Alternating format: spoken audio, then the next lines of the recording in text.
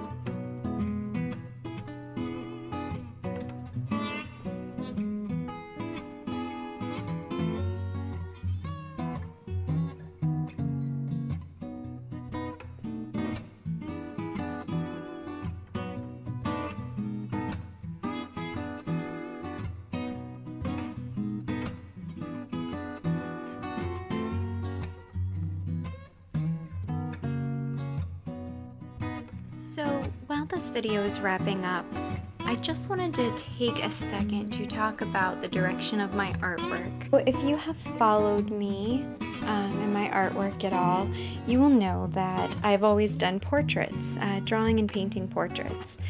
And I am no longer advertising for that. Um, why, you might ask? Well, it's not because I don't want to do them, it really is a time issue.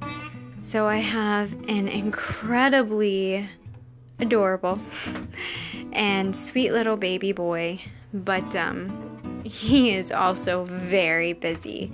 And it is hard to get much time, um, like at one sitting, a lot of work done in one sitting. Um, and with portraits, it kind of requires that I sit for chunks of time, you know, usually a good three solid hours at a time to really uh, efficiently get the work done. With the baby, I just don't get that time. So he's only just over a year and a half. So, you know, just over this last year and a half, trying to do portraits um, while I have him around, uh, it's just not effective. Um, they will take forever. I can't really get into the groove of doing the paintings. Um, and now that he's super talkative, he is always in my lap. I cannot sit down without him wanting to hop up in my lap. Um, it just doesn't give me an opportunity to do the portraits. So I love art. Um, illustration has always somewhat more secretively been um, a part of me and something I really enjoy. And so that's why I'm really kicking up the illustration part of my art life. It doesn't take as much time to do. I can work on it in much shorter increments. And honestly, portraits take a lot of a lot of brain power. You get to a point where you hate the picture, you want to throw it across the room, rip it up, and never look at it again. But you push through, you figure out how to get the shading right here and the proportion right there. And at the end, it's really satisfying to have that finished picture.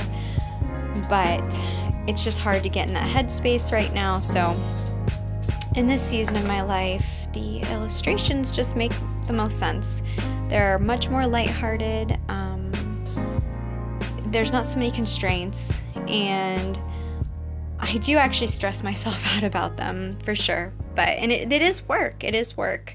Um, it's cutesy and it's fun and colorful, but it actually is a lot of work, um, just not in the same involved way that portraits are. So that is why I have stopped doing portraits for a while. I will pick back up on them as the baby gets older, um, and I just have more time to focus on that. So I just wanted to give that note because I know there are some people who've asked me about portraits and um, love to do them for you, but now is just unfortunately not a good time. So um, yeah, I just wanted to mention that, give a little explanation. I didn't go too far in depth, but well, I just want to say thank you if you have sat through this video. I really tried to cut it down um, to get it shorter, but eh, my editing will get better. I appreciate your time and I hope you have a really blessed day. Bye!